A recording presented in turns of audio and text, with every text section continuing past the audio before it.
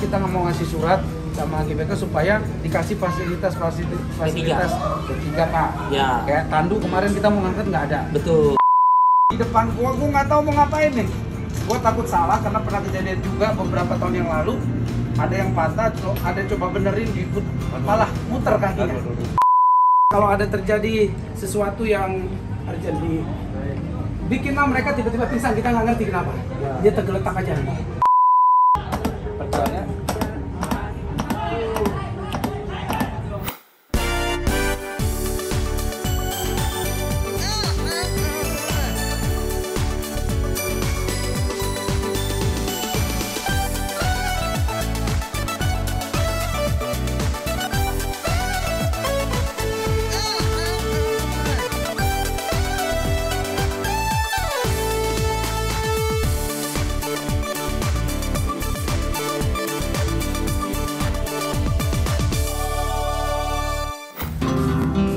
Hai guys, ketemu lagi bareng gua di Dika Duma Channel. Hari ini kita main bareng SFC dan sebelum main gua agak lebih cepat datang ini jam 3 biasa kita main jam 4 dan setengah 4 biasa gua baru nyampe. Karena ini ada pelatihan kita khusus untuk pertolongan pertama kalau ada kejadian di lapangan kayak kemarin pemain Denmark ya kalau nggak salah. Di mana kalau tiba-tiba kaki patah terus eh, ada yang pingsan di lapangan itu sering banget kejadian dan kita harus tahu gimana penanganan eh, pertolongan yang paling cepat gitu. Apa tindakan yang harus kita lakukan? Sampai sekarang sebenarnya gue gue sendiri nggak paham apa yang harus gue lakuin kalau ada kakinya lah yang geser tulangnya terus ada yang pingsan di lapangan gue nggak tahu takut salah gitu. Jadi hari ini kita belajar sama dokter Sabto eh, gimana hal-hal yang harus kita lakukan untuk melakukan pertolongan pertama. Let's go, mereka udah ready. Ini juga salah satu orang yang sangat concern untuk bisa eh, kita bisa tahu juga sebagai pemain apa yang harus kita lakukan kalau terjadi hal-hal yang tidak diinginkan ada. Kalau orang tua lebih concern. Presiden gue. Karena betul kan? Betul benar. Iya betul kalau kejadian heart attack, serangan jantung dan Ya. sebagainya macam itu bisa terjadi di kita atau teman kita orang. Jadi apa langkah 1 2 Ya. 3 menit pertama yang genting itu kita mesti lakuin apa? Gue langsung eh, spontan respon ini sebenarnya karena kemarin minggu kemarin kan kita main. Erikson. Oh bukan, Minggu patah. kemarin kita main ada yang patah. Yes. Terus kalau gua kan memang pernah ngeliat gitu, tapi kan gua nggak tahu apa yang harus dilakukan. Satu kemarin kita nggak mau ngasih surat sama GBK supaya dikasih fasilitas fasilitas fasilitas ketiga pak. Ya. Kayak tandu kemarin kita mau ngangkat nggak ada. Betul. Karena ternyata pas patah tuh dia nggak bisa nggak bisa kita angkat juga. Betul. Pakai tangan gitu sakit. Betul. Jadi harus ditandu. Digeser apa jangan? Nah, itu kan gitu. nanti dengan ini mungkin nggak cuma serangan jantung, tapi kalau ada tindakan gitu, Iya. oh jangan digeser, jangan digeser, Iya. biarin. Ada medisnya. Betul. Gue mau usul sebenarnya udah lama. Apa? Yaitu nih di SFC di kepemimpinan Didika dan nanti ada dokter bahwa gini. Sekitar setahun ini orang udah sibuk-sibuk kalau main bola, nggak cuma wasit pakai tiga, tapi lagi sibuk narsis dengan ada fotografer. Ya dong. Iya, nanti iya. buat di media sosial, Facebook, Instagram. Tapi mereka nggak pernah peduliin nggak tua nggak muda. Tapi yang tua udah banyak sekarang menyediakan tenaga medis. Iya itu dia. Seberapa keren lu pakai foto betul. tapi nyawa lu taruhan. Nah, itu gue setuju, gue setuju. Dong. Kemarin gue langsung bilang kok, ini nggak bisa besok. kayak gini. Ya. Karena gue juga diam di lapangan. Betul. Aduh, gua, kok gue kok sakit nggak bisa gue angkat, nggak bisa ini gue Iya. takut. Gue punya pengalaman. Betul. Waktu dulu ada yang patah, ada yang coba malah muter kakinya. Nah. nah kan salah-salah tambah. tambah parah. Ah, J-flow. Ini juga dislokasi kan? dislokasi. Dislokasi kepala. Kepala. Waktu itu ya. Ayo kita langsung. Ayo. Coba ya. Kita ketemu dokter. sini. Sini, sini,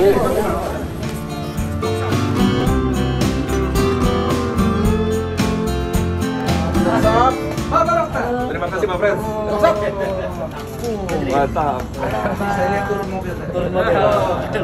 Selamat datang. Ini dia teman-teman semua ini Dokter Sabto Siap, siap. yang akan membantu kita untuk menga- mengambil tindakan apa aja sih sebenarnya yang harus kita lakukan di lapangan. Kebetulan kemarin dok kejadian di sini, jadi makanya gua langsung merespon banget ya? karena di depan gua gua nggak tahu mau ngapain nih. Gua takut salah karena pernah kejadian juga beberapa tahun yang lalu ada yang patah, ada coba benerin di put- malah muter kakinya. Ya? Jadi setelah itu gua agak takut sebenarnya, gua nggak tahu. Dan kemarin nonton bola kita ya, yang siapa? Denmark ya?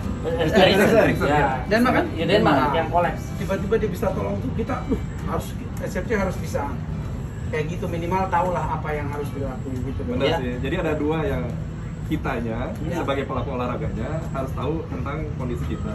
Tuh. Terus yang kedua, kitanya dibekali juga kemampuan untuk menolong sesama kita. Karena Iya. waktu kita cuma sebentar, benar-benar cuma tiga menit ya dokter Ismail. 10 menit. 10 menit hanya kita punya waktu. Oh. Kalau kita telepon ke petugas kesehatan, Ya. berapa lama dia baru mau datang? Jadi memang kita nih yang paling berperan Betul. untuk menolong. Kemarin kita udah lakuin semua itu. Mobil ada ambulans, supir nggak ada. kita mau angkat tandu nggak ada. Dia nggak bisa di dia nggak Iya. bisa. Dia udah kita ada kebetulan ada yang Iya. bantu orang visio, jadi udah di gips kakinya tuh di Iya. cuman nggak bisa diangkat. Iya, Kalau iya. kita angkat barang nggak boleh. Nggak ada tandunya ya? Dia kesakitan. Jadi harus ditandu. Nah itu aja. Akhirnya kita bilang ke GPK untuk siapin minimal adalah Iya, iya. peralatan kayak gitu. Ada paling nggak kita sendiri nanti Iya, nah, sebagai kitanya- ya, nanti kita iya. lengkapi. Kebetulan eh, saya dibantu oleh teman-teman saya dari Rumah Sakit Premier Bintaro. Ya. Rumah sakit Premier. Eh, ada Dokter Ismail. eh, Oke dok. Ya. ya. Kemudian ada Denny dari marketing dari Sport eh, Clinic. Clinic. Sports Clinic. Kemudian dibantu oleh eh, dua perawat eh, kami. Premier ya. Nanti acaranya ada pemberian materi oleh Dr. Ismail, Ya. kemudian langsung dilakukan praktek seperti yang kita bisa lihat di bawah ini.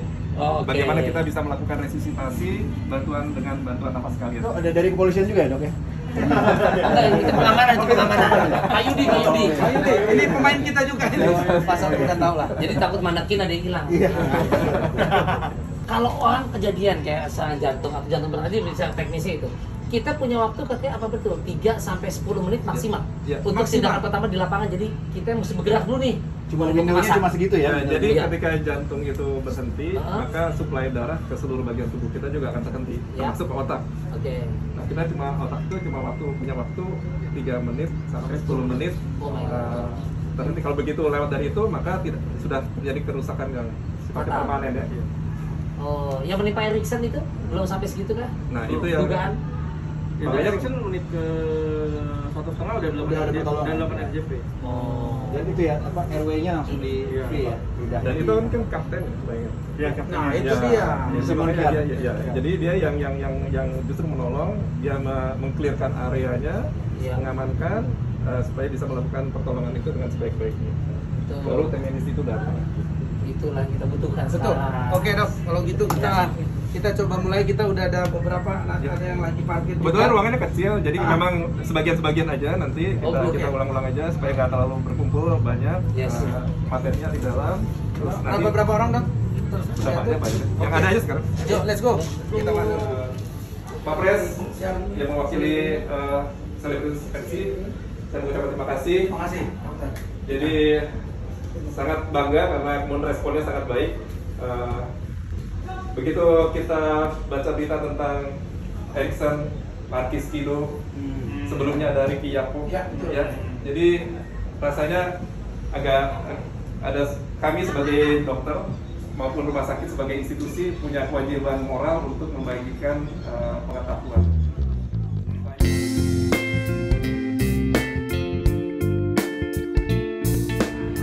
Yang tercapai sebenarnya. Nah, saya mau jelaskan kenapa orang pada kasus ini cedera kepala ya, kenapa bisa terjadi penurunan kesadaran. Kita pakai bahasa penurunan kesadaran. Karena orang yang mengalami cedera kepala oleh sebab apa pun, jaringan lunaknya mengalami memar, membengkak. Sehingga tekanan di dalam kepala yang rongganya terbatas itu meningkat. Nah, akibatnya di antaranya aliran darah menurun, sehingga terjadi hipoksia atau sel-sel otaknya tidak mendapat makanan kemudian. Nah ini yang menyebabkan orang eh, penurunan kesadaran. Nah, Nah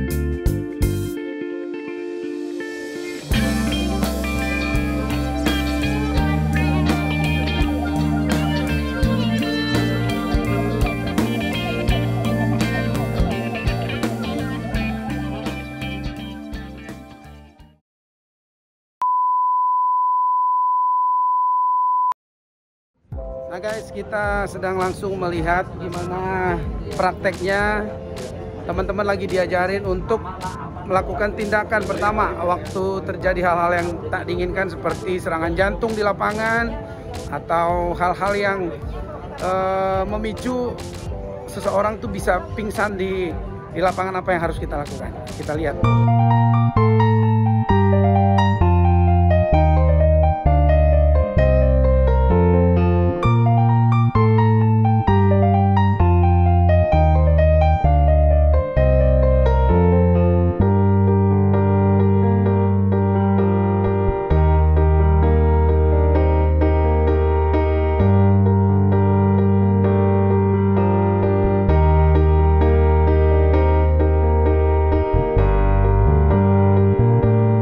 Oke, aku masih bisa ya. Masih, masih kuat. Sekarang aku masih eh, pengen banget diajarin gimana caranya tadi teorinya udah tadi kita dengerin ada dokter Ismail, dokter dokter Fitri sama Budian.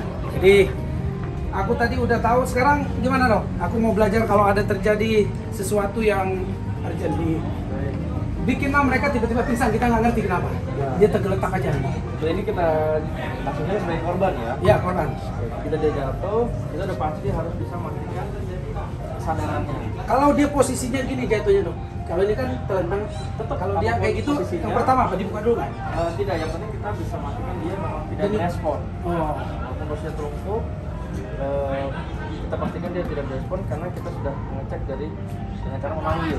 oke panggil dulu ya. Memanggil, tidak ada respon, kita bisa meningkatkan dengan cara kita kita- ya, kita kita goyang-goyang gitu ya, Pak. Eh, kemudian Kalau masih tidak merespon, kita ada respon, nah kita masuk ke algoritma berikutnya. Kita cari pertolongan. Secepat mungkin kita cari pertolongan. Karena semakin lama kita sendiri, semakin lama kita kerepotan. oke. Kalau situasi ramai kita bisa minta bantuan orang lain untuk uh. Sebaiknya tidak usah terlalu la- ramai ya, kecuali Betul. ada yang Ya, jadi yang dalam ngerti. yang pada kasus tadi kita bahas itu Iya, harus ada yang memimpin. iya. betul. Karena pemimpin kan sebagai pemimpinnya yang akan memberikan komando. Saya akan ini, kemudian saya akan cek kesadarannya. Yang lain ada cari bantuan, kemudian mengamankan lingkungan. Walaupun ambulans, gitu Ya. ya. Oke. Berikutnya adalah kita memastikan eh, ya tadi masalah posisi ya. Kita harus pastikan dia tidak ada cedera leher memang. Nah, kalau sudah kita pastikan aman karena proses jatuhnya juga aman, eh, kita bisa ngecek denyut jantungnya dengan cara mendeteksi di leher. Namanya karotis. Ya, denyut nadi tadi ya. Ini tadi. Iya, iya. Kita cek, jangan terlalu cepat Ya. kesimpulan. Kalau kita mengecek itu kira-kira 10 detik. Ya, 10 detik. Kemudian kita bisa raba, ada dalam 10 detik itu kita bisa pastikan ada denyut jantung. Tapi begitu kita pastikan dalam 10 detik itu Tidak tidak ada, ada, tidak ada. start CPR. Oh, sekian ya. Ya. Dan ini kita akan pelajari. Ya. Tapi di saat bersamaan kita juga CPR itu apa sih katanya dokter? cardiopulmonary resuscitation ya jadi resusitasi jantung dan paru karena dia satu paket Oke. resusitasi itu mengembalikan ke dalam kondisi normal Oke. resusitasi jantung dan paru nah di saat bersamaan eh, kita juga harus bisa menyimpulkan apakah orangnya bernapas atau tidak Hmm. karena eh, sering kali eh, pasien itu eh, korban itu ya eh, denyut jantungnya ada, Ada. tapi napasnya tersumbat. Cara cek nafasnya? Nah tadi kita bisa menggunakan tiga titik gerakan dada dengan cara melihat, ya. Kemudian kita juga bisa merasakan hembusan, feel, Ya. dan juga mendengar, listen. Ya. Nah, jadi algoritmanya adalah denyut jantung dulu. Denyut jantung dulu, ya. Ya, karena eh, itu yang jadi paling Paling vital. kita lihat. Kemudian setelah kita cek ada sambil kita memastikan napasnya karena biasanya kalau denyut jantung ada eh, pernapasan kemungkinan ada. Oke. Tapi kalau dia sudah Kalau udah terjadi itu nggak usah terlalu panik sebenarnya Iya. karena udah pasti dia masih ya. Nah, berikutnya udah kalau ini jantung kita lakukan CPR.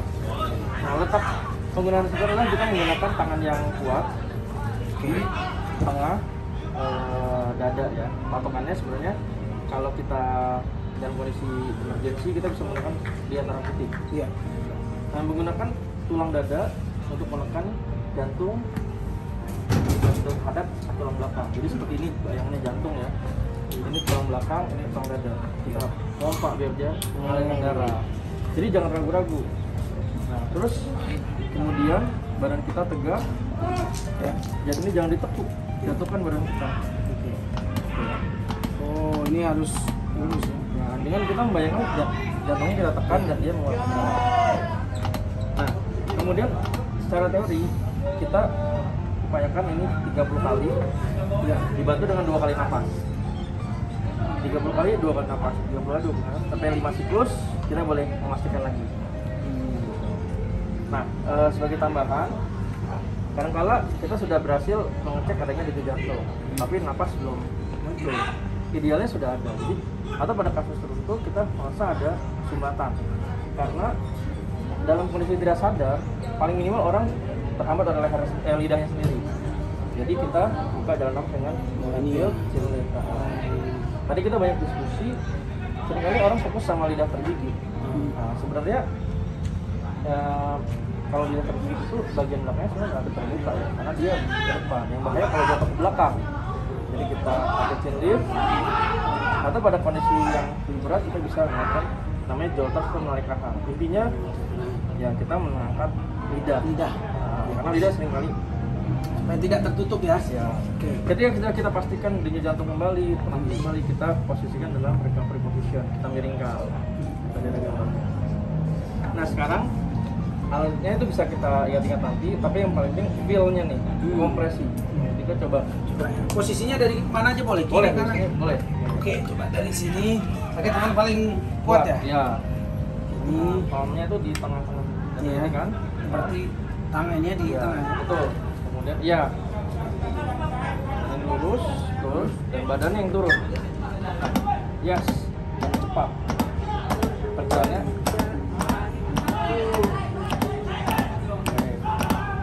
Oke, 30 ya. 30 Ada sedih. nah itu Nanti. kenal kita merasa aman untuk berikan nafas nafas kita boleh tapi kalau kita ragu-ragu compression only itu diperbolehkan Ini kita lakukan kalau dia setelah itu sadar, udah ya. Udah, Berarti kalau ada respon, respon pun kita harus berhenti. Tapi tetap berpatokan pada jantung. Kadang-kala kasus Erikson buka mata tapi nggak ada respon. buka mata, oh buka mata tapi Iya, kalau kali videonya dia buka mata tapi nggak ada respon. Teman-teman panggil dia nggak respon, dokter mengecek jantung, mereka langsung start CPR, tidak buang waktu lama. Satu setengah menit langsung yang dilakukan. melakukan tuh mereka ya. Yes. Nah kalau bantuan medis akan datang, berarti upaya kita adalah semaksimal mungkin kita kompresi sampai bantuan datang. Oke. karena itu hanya berupaya supaya aliran darah Aliran darah itu benar-benar mengalir kita ya? tidak menimbulkan masalah Betul betul. kalau pada almarhum baru kuda mungkin kalaupun kita lakukan kompresi pendarahan terlalu banyak agak sulit memang ya paling tidak kita ada usaha Siap dok. Itu tadi guys, terima kasih banyak. Tadi teman-teman juga udah belajar banyak. Ya. Mudah-mudahan ini sangat membantu kalau ada sesuatu yang terjadi. Terima kasih sekali lagi buat Rumah Sakit Premier Bintaro ya. Nanti kalau kita ada terjadi di sini sambil kita benerin kita telepon. oke sama ibu semua. Terima kasih sekali lagi. Oke. Mudah-mudahan kita tambah ngerti cuma bukan cuman hanya bisa main. Iya, Tapi iya. kalau terjadi apa-apa kita bisa.